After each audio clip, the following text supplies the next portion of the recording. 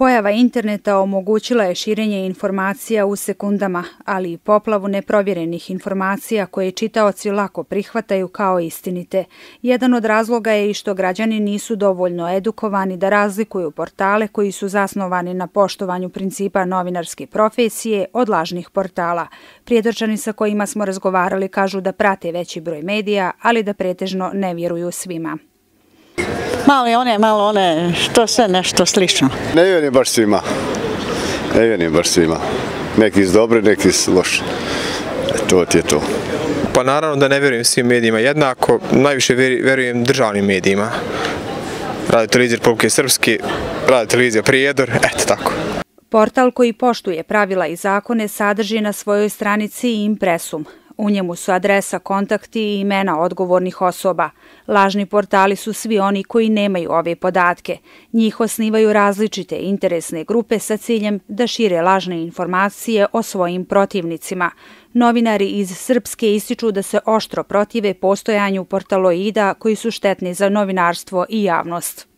Problem onog trenutka nastaje kada mi novinari koji apsolutno znamo šta su provjereni izvori informacije, odnosno koji su mediji čiji, što bi se reklo, upotrebimo te informacije i prenesemo ih kao da su stvarne informacije, tada, tada dolazi do zloupotrebe tih portaloida, odnosno medij koji ih je objavio, a koji je registrovan, da kažem, opravdava se time da je objavio nešto što je pročitao na drugom mediju, a sam je trebao biti svjestan da medij koji nema impresum ne bi trebao da bude citiran.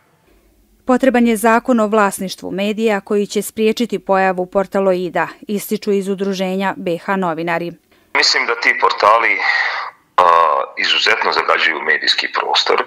A, ciljano nema impresuma ni kontakta kako bi mogli a, neodgovorno širiti lažne vijesti, dezinformacije i poloinformacije sa ciljem blaćenja ili političkih protivnika ili kritičara i, i, ili o, nekoga ako govorimo o poslovnom svijetu, konkurencije.